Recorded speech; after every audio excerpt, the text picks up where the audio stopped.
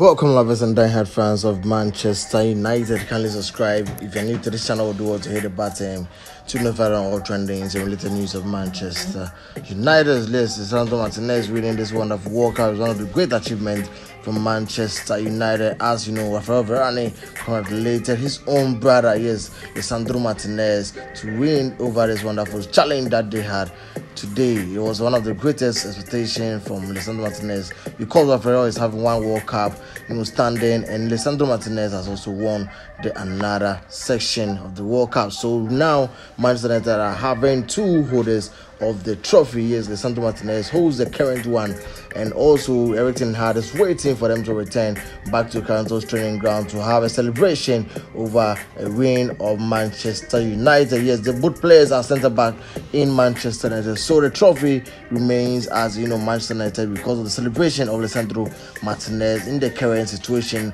of the World Cup. Yes, let's all embrace you know this wonderful section of Manchester United, you know, winning over this wonderful trophy. This is a new update. Hit the camp of Manchester. Thanks for watching.